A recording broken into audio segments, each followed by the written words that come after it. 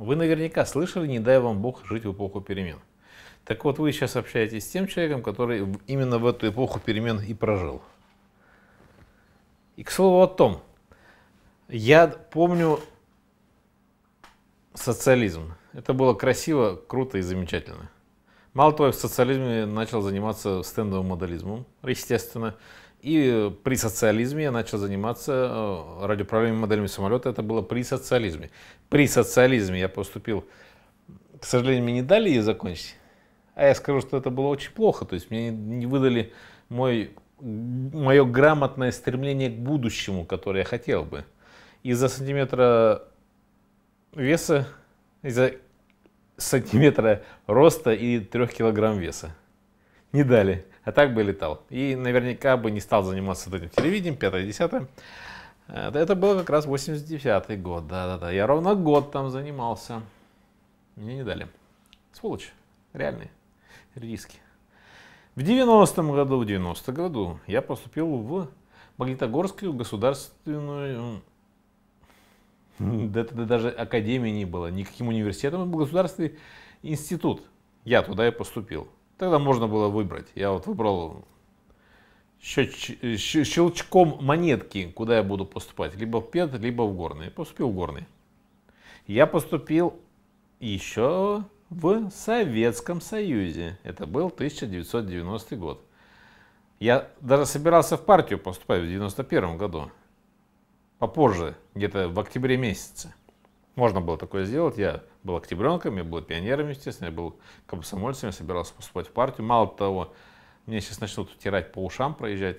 Дело в том, что в 89 году мы с моим товарищем, э, ну, наверное, товарищем есть, был, ну, может быть. Не хочет со мной общаться, ну, это его проблема. Я не сильно люблю, когда меня, на меня наезжают, тем более, когда этого лучше и не делать, то было бы. Это его проблемы, не мои. Всего лишь полтора года были талоны, да. И в 90-м году я поступил в институт.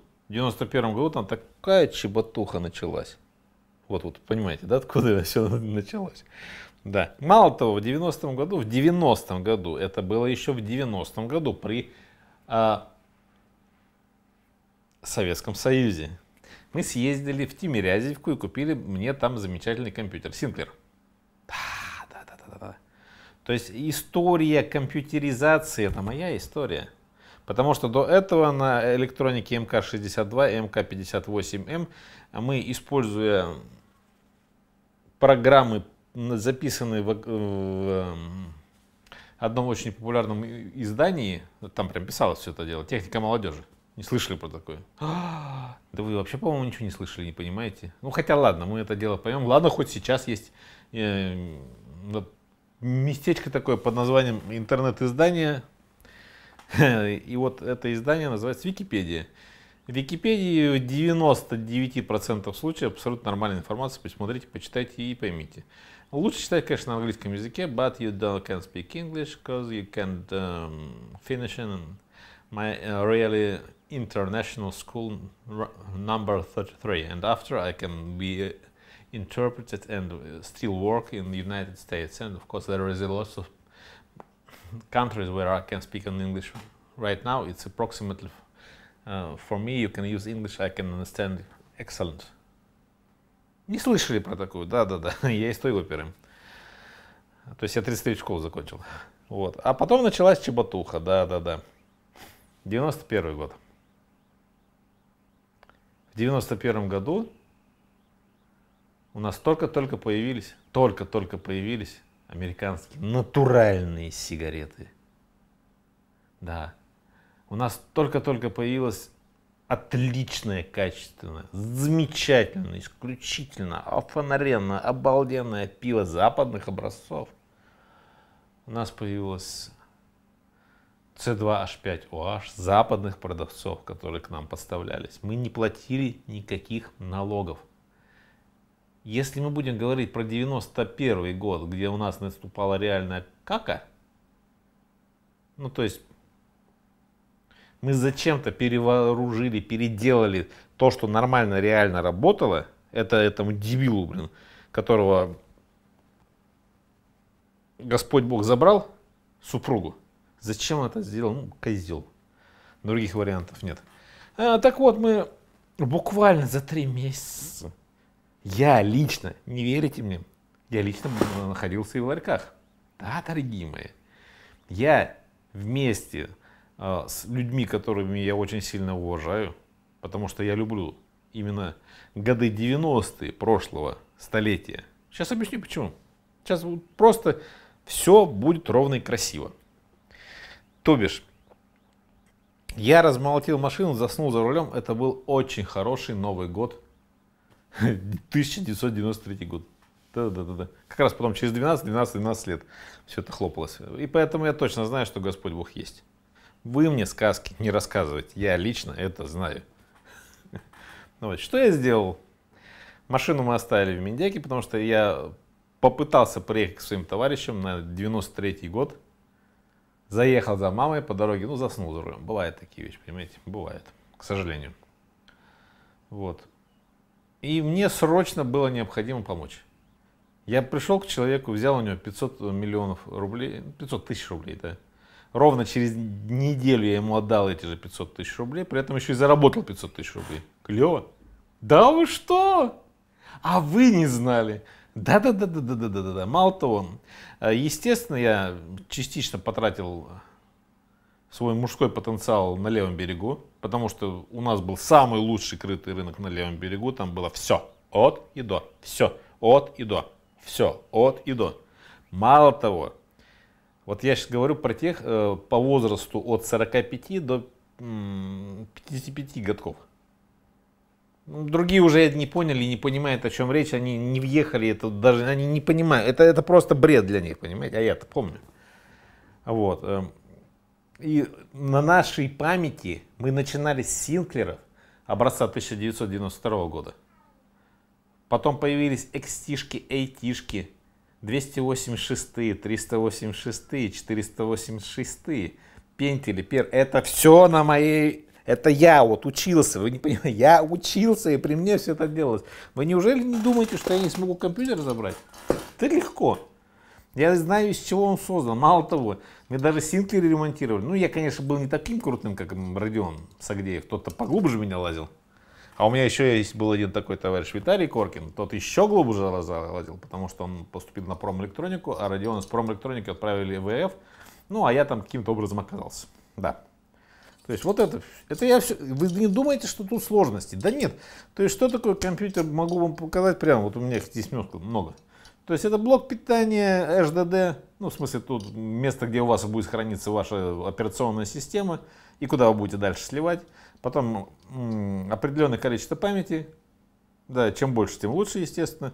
Видеокарточка, ну сама материнская плата, блок питания, ну, не помню, ну, в общем, это все. То есть, в принципе, если бы вам было бы необходимо, я бы при вас сейчас собрал целиком компьютер.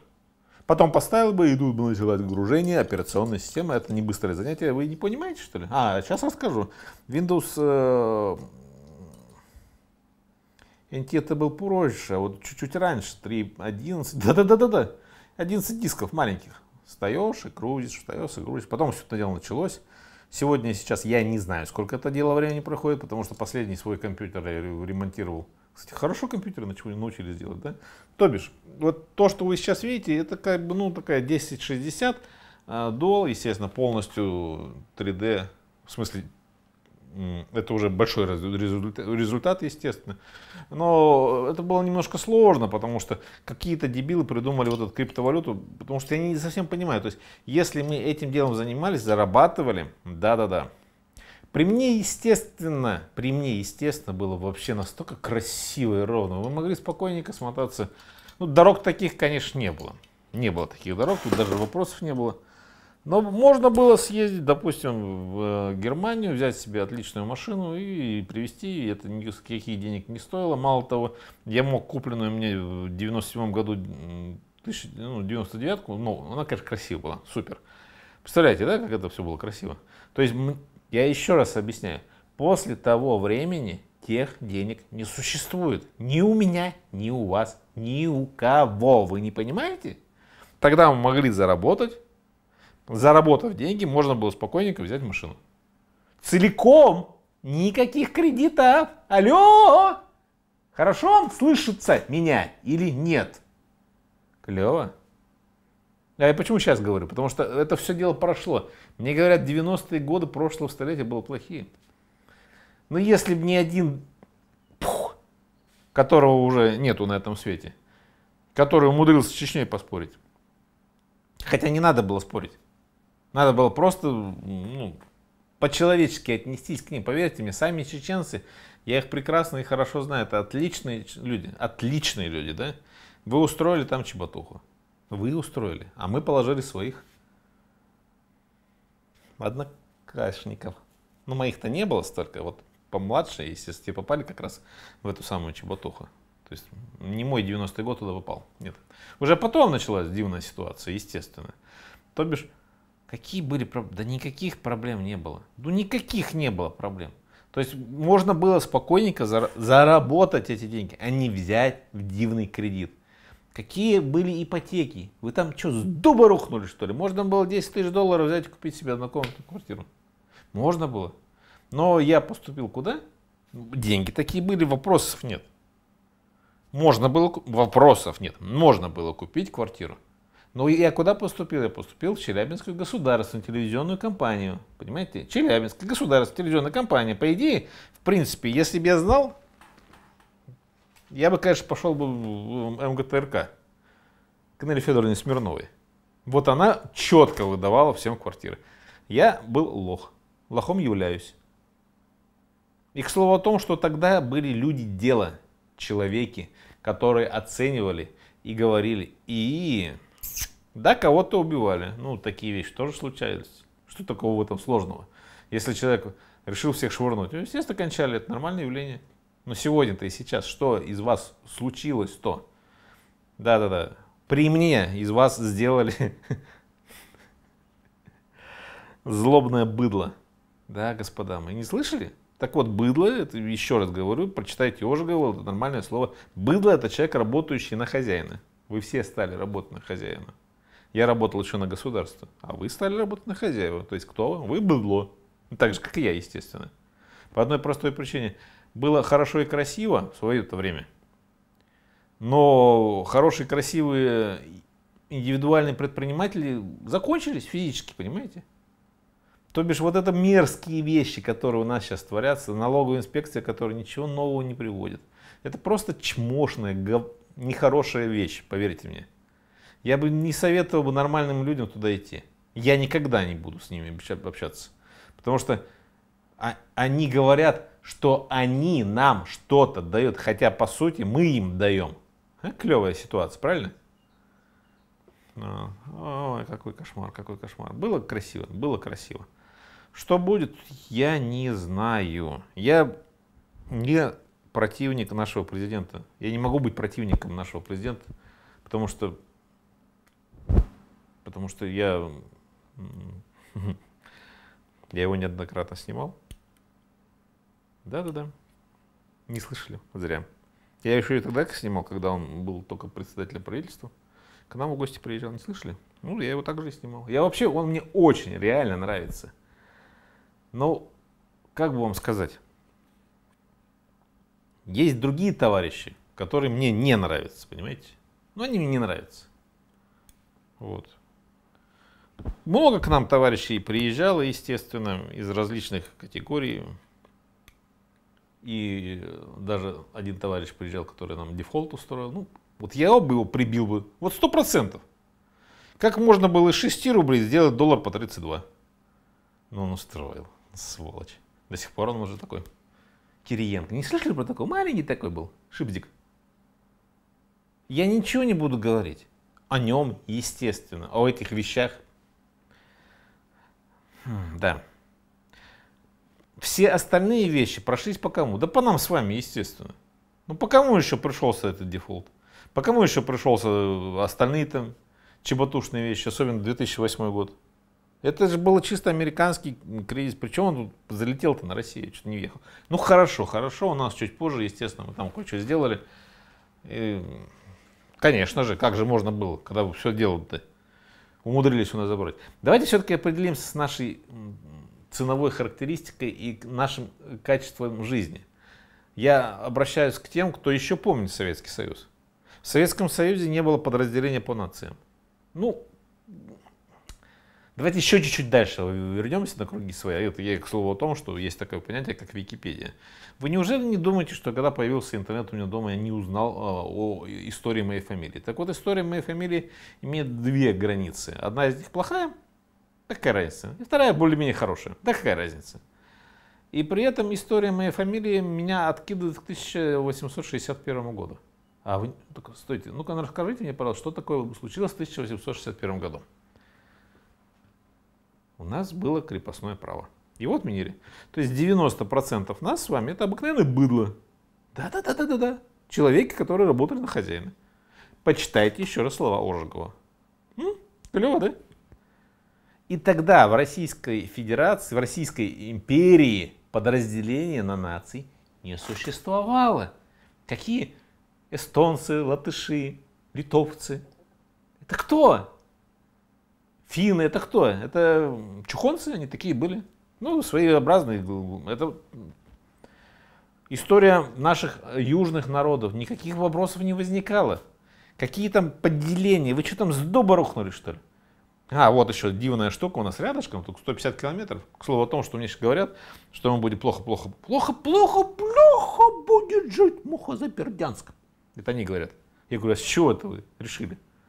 У нас до границы Казахстана 150 километров. Все машины, которые продаются здесь, которые типа сказали, что вы не будете покупать в России, они берутся оттуда. А, вы не слышали. Вах, вах, вах, вах, вах. Тут доехать до Казахстана 150 километров. Мы сейчас что там договоры решили. То есть то, что в Казахстане есть в России, а Казахстан не попадает а, под вот этот дивный списочек. Да, да, да, да. И почему при мне же развалилась Карталинская ракетная дивизия? Знаете, почему она развалилась? Все просто. Потому что Карталинская ракетная дивизия, она... Хм, это карталы.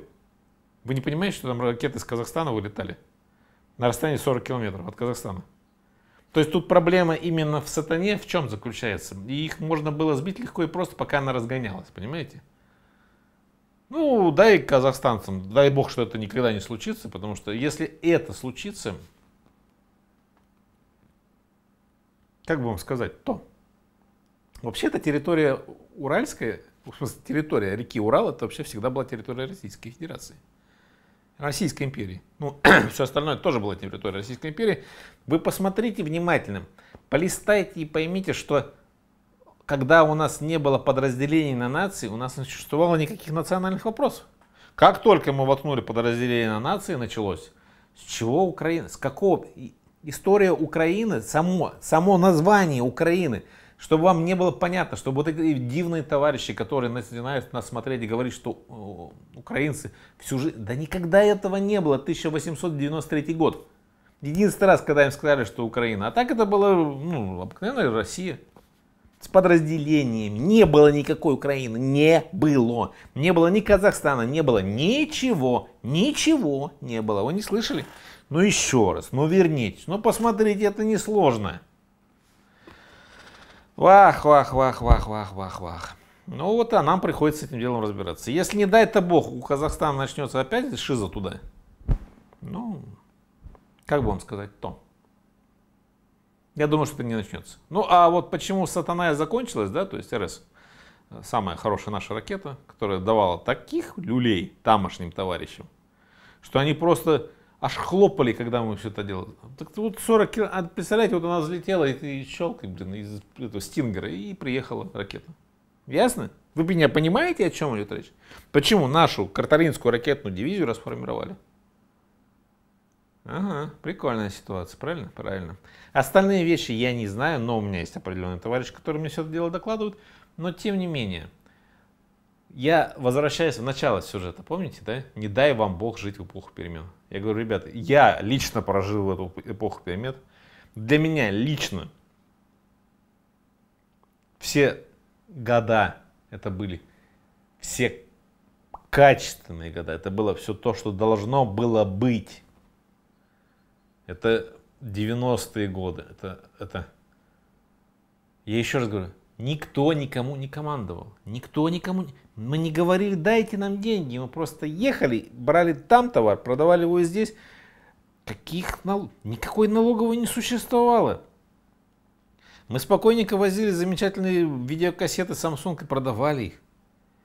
У людей не возникало никаких проблем. Мало того, водка была, вот, блин, пиво было, вот. И наше, кстати, хорошее пиво, верхнеуральское, оно всегда ценилось. И оно было, было, было, было. Куда мы все просрали? Вы даже не представляете, что я в первый раз, когда ездил в Челябинск, это был 94-й, не помните вы, да вы вообще про это не слышим. А я сейчас объясню, да, когда я Арси проезжал, ну дорога там была такая. Так вот, арсинские а, места, где, как бы вам сказать, животные росли. Ну, слышали про такие? Не, не слышали. Вопрос другой. Блин, сейчас вам покажу, ну, чтобы это было еще раз более понятно. Сейчас мы сюда воткнем. Вот. Раньше, то бишь раньше, да?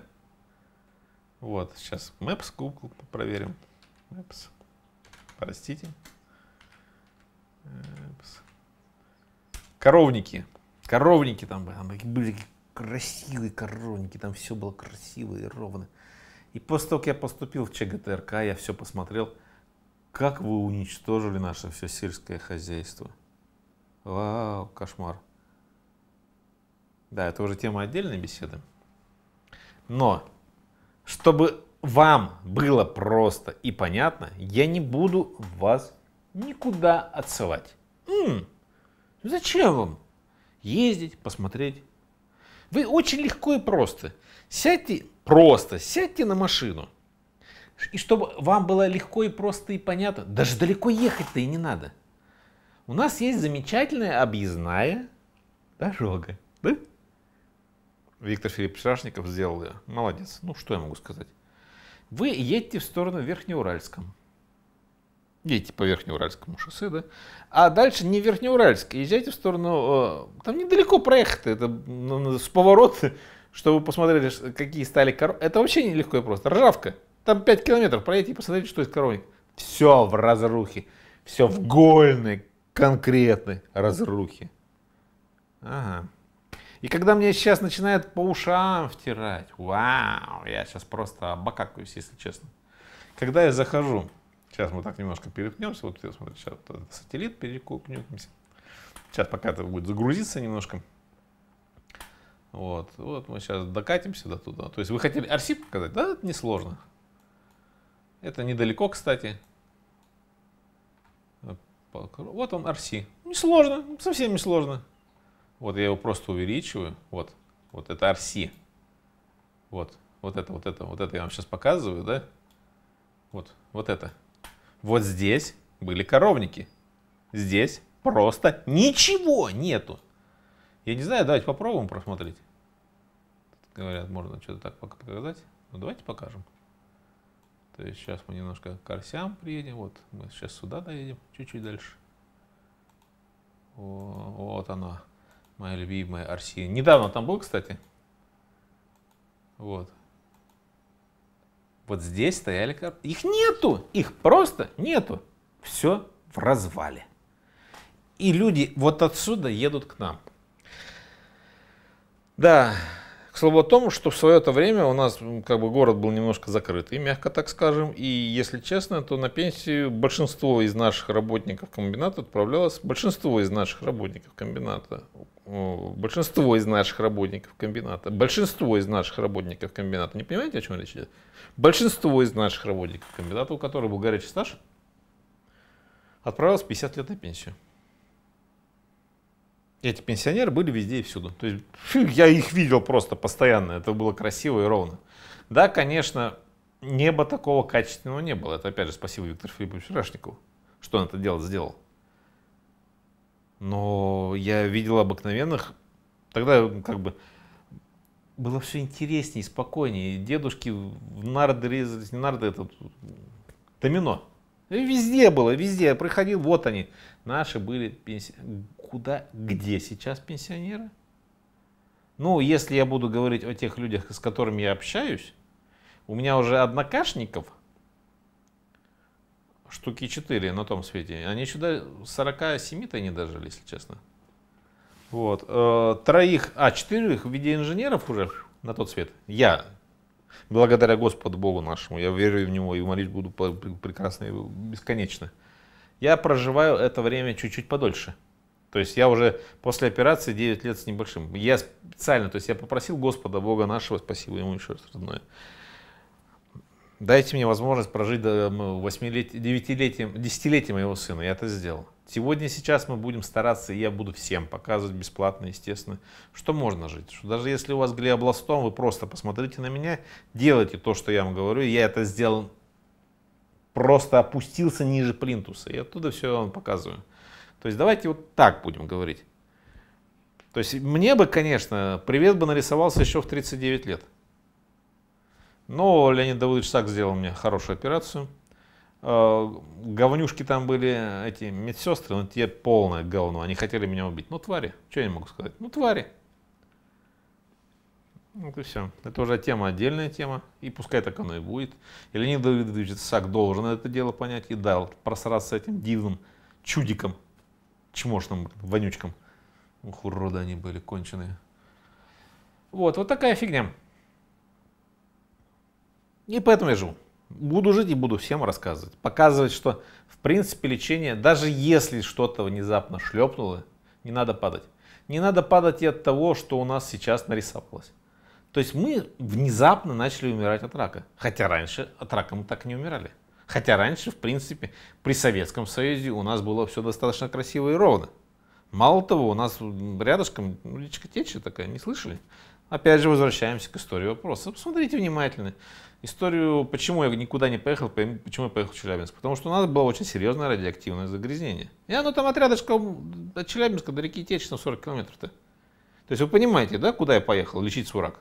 Естественно, в Челябинск. Но можно поехать еще и в Белоруссию, ну там тоже были проблемы еще повеселее. Помните, да, Чернобыль? Не помню. Да что же вы так ничего не помните? Это надо все это возвращать на круги свои. Вот и все. Ну и все, и лечимся, и никаких проблем не возникает. Но вернувшись к истории вопросов, обращаясь назад, я вам говорю, что это было красиво. Да, мы накормили, напоили. И мы имели возможность купить за свои деньги. Сегодня и сейчас. Что вот над вами-то висит? Ничего. А сколько из вас человек в ипотеке? У кого проблемы с кредитом? Да у всех! А, баца!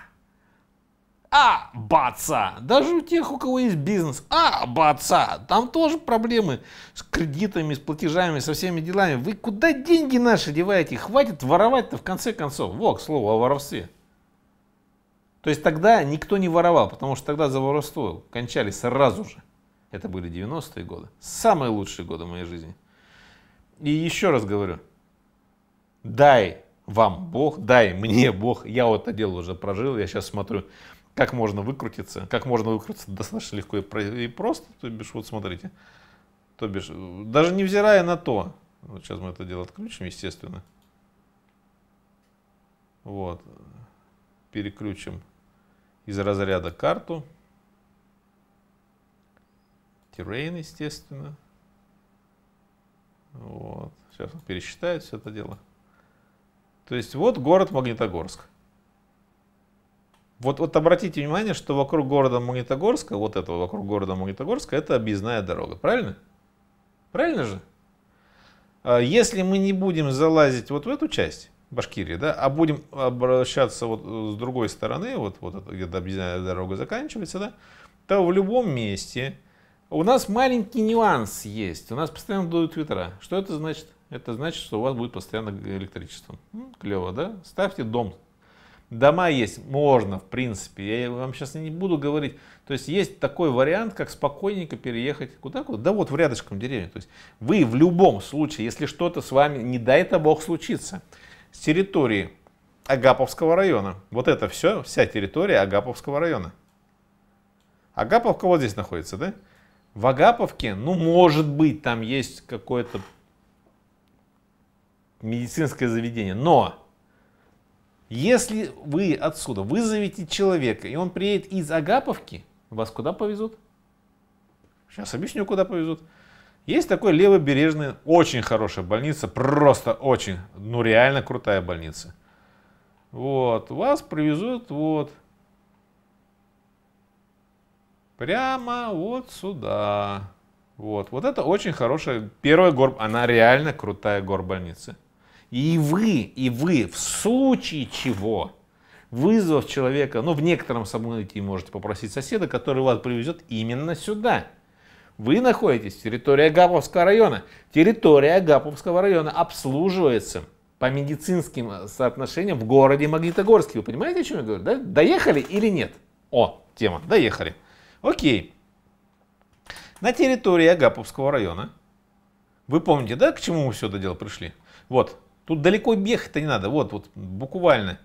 Э, где мы? Вот Смеловский, хорошее местечко реально. Кирсар, Жавка, никаких проблем. Приморский, вот, вот, жел, без разницы, где угодно. Берите спокойненько свой дом, выращивайте свининку. Вкуснейшую, замечательную. Продавайте в городе Магнитогорске. И, в принципе, вы можете забыть про слово пенсия. Потому что до 65 лет мужики, ну, я не думаю, что доживут. Я не думаю, потому что, ну, как бы вам сказать, ну, вот такая ситуация у нас случилась. Да-да-да. К слову о том, что в свое время при Советском Союзе у нас клещей не было. Вы, вы понимаете, то есть люди жили, умирали от естественных болезней, естественно. Вот, потому что я не припомню, у меня сейчас большое количество людей от рака умирает, это как немножко задает вопрос. А раньше не было такого. Раньше такого не было. Целиком все это дело опрыскивали ДДТ. Какие были? Вообще клещей не было. Когда вот начинают вот эти бред, чмошная, вонючая чеботуха, которые нам говорят, что да вы все жили нормально, спокойненько ели. Вот такое мясо. А вообще просто кушали. Вау! Никаких крещей не было. Что сложно, что ли? Да. Я неоднократно говорю о том, что нам бы, конечно, вернуть на круги свою авиацию. Ну, это что-то как-то... Понимаете, почему э, вот из нас сделали злобное быдло? Из всех, естественно. Ну, это легко и просто. Но злобное быдло в 90%, э, самое злобное быдло располагается не здесь, нет, это называется Москва. Вот там Дума. Я что-то не взял. Владимир Владимирович Путин. Владимир Владимирович, дядя Володя, разгони ее к ядрене фене. Давай мы так договоримся. Через некоторое время, как это было в Советском Союзе, мы будем их собирать. Но они, они, как бы вам сказать, ничего хорошего, ну ничего, ну вообще ничего хорошего они не сделали. А зачем они нужны? Хорошая тема, правильно? Хорошая, весьма. И вот мне, когда начинают сказки рассказывать президент, не президент, давайте все-таки обратим свое внимание, что свое-то время, я почему говорю, что из э, количества не так уж и много мы стали э, теми, кто никогда не падал. Мы никогда никого не выбирали. Вы когда-то выбирали царя? Нет. Вы когда-то выбирали наших генеральных секретарей? Нет. Они просто жили. Все это... И, не будем говорить, что... Вообще мне когда говорят, что с возрастом возникают дивные проблемы из разряда того, что мозги куда-то отвалились, а я не буду говорить, что проблемы-то такие есть. Сорос. Да ему уже совсем там далековато. Там еще отдельные товарищи. Да, да, да, да, да, да, да. Ему вообще очень далековато. Да им из гроба так говорят это, давайте сюда. И у них очень все хорошо с головой. Настолько хорошо, что вот эти мелкожопники, которые только-только, и вот они сказали, вах, дайте нам демократию. И эта демократия превратилась в дерьмократию. И вы это дело сами, вы за это проголосовали. Кому это было нужно? Да-да-да. Клево? Вы сами. Я никогда про это... Я никогда не голосовал. Я всегда был сторонником коммунизма, естественно. Там была хоть жизнь нормальная. Так вот, они вас накормили. Но, тем не менее, Э, помните, да, мы вернулись с труда. Естественно, когда мне начинают втирать сказки про то, что у нас фермерское мясо, я говорю, во-первых, это не фермерское мясо, это есть отдельные коровники. Э, не коров... С коровниками сложно, да, корова должна расти, она должна питаться, она должна гулять, естественно. Вот. А вот свинина, которая везде есть, это стандартная обыкновенная свинина. Ну, она называется бройлерная свинина, потому что их очень сильно накачивают э, всякими веществами, и поэтому они достаточно быстро живут. Ну и, естественно, я бы, вот, допустим, вот, что сейчас можно? А, я бы крайне не рекомендовал использовать печень. Вот печень свиную, это вы забудьте про нее. Тоже как и печень говядины, ой, курицы. Курица отрабатывает себя за один год. Свиноферма отрабатывает себя за два года. Понимаете? Вы доезжаете или нет? Доезжаете, да? То же самое, спокойненько здесь сделайте. Ну, сколько человеку нужно денег, чтобы хорошо, классически прожить, да? То есть вернемся на круги своя, без понтов. Вы себе можете купить за 200, за 400 тысяч хорошую машину, нормальную, грамотную, качественную, для которой вам это дело обеспечит. И есть такая штука, у меня называется калькулятор, чтобы было бы понятно, да? То бишь, э, частично у нас такие есть конторы, не в курсе событий, да, которые вам индивидуально на дом привозят домашнюю свинину. Ну, она, в принципе, такая же свинина, но типа из дома.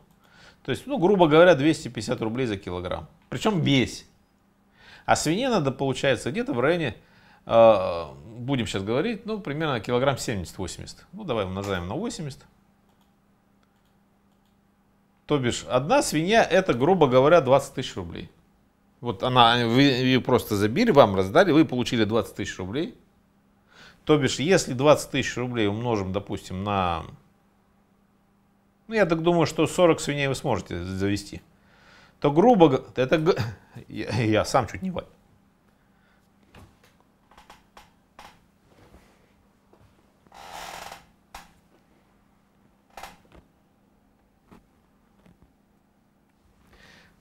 Сорок свиней. Это можно сделать. Это можно сделать. Это вы сможете сделать.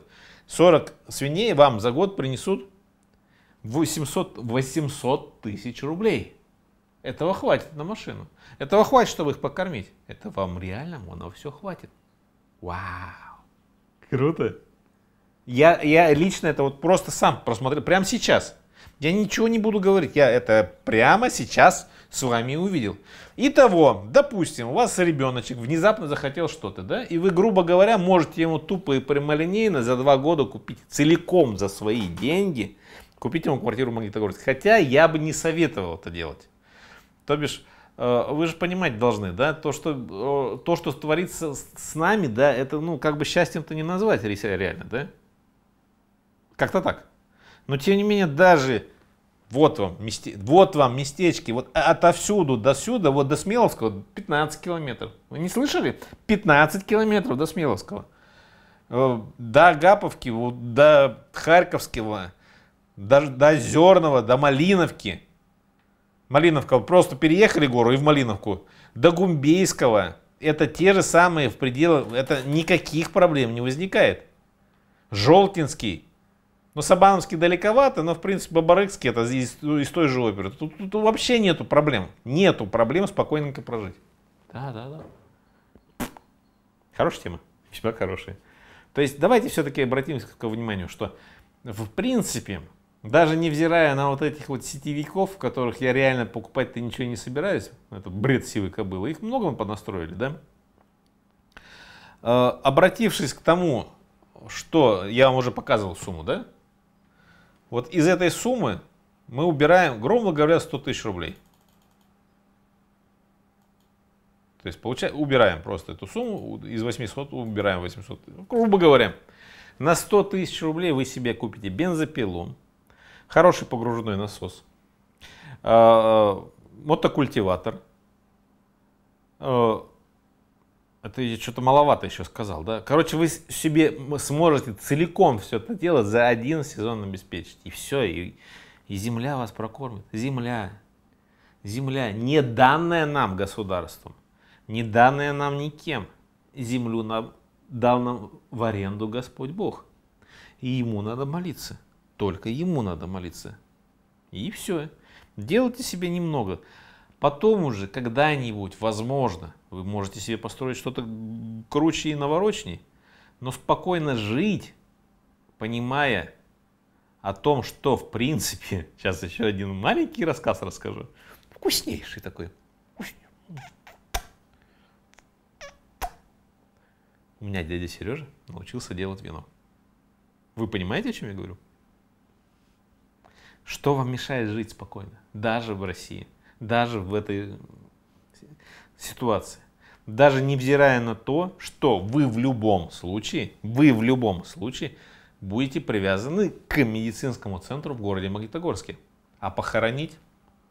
Вы знаете, не обязательно это должен быть город Магнитогорск. Везде, где я показал, есть отличные кладбища. И после того, как мы поработали, после того, как вы сделали качественное дело, после того, как люди начинают верить в вас, верить в вашу жизнь и понимать, что их жизнь немножко не такая, внезапно это вдруг оказалось, веря в Бога, давая грамотные советы, объясняя, слушая меня, дай Бог это случится. Может быть, вы умнее меня, я не буду ничего говорить. Потому что для меня самое главное вас показать, показать, что вы умнее меня, что а вы думаете, что не такой? Нет, господа, я четко знаю, что такое телевидение. Я четко знаю весь фактор узнаваемости сюжета. И вы можете спокойненько жить, и работать, и показывать качественный результат. Хорошая тема. Правда я вам говорю? Правда я вам говорю. Так что давайте верить в Бога нашего, без разницы в какого Бога, ислам, иудаизм. Вообще-то, как бы, если мы будем говорить, о чем я еще раз объясняю, э, я немножко там сторожил, и я прочитал Библию. Ой, вот Вообще, как бы я бы рекомендовал каждому прочитать Библию по полной программе. Прочитать Коран, ну, если... И понимать, что вера в Бога одна. Вера в Бога одна. Мы в Него только и верим. Мы никто, мы здесь никто. Мы пришли. И давайте не будем срать, не будем говнякать. Мы будем выращивать то, что нам нужно и необходимо. И верить в Бога.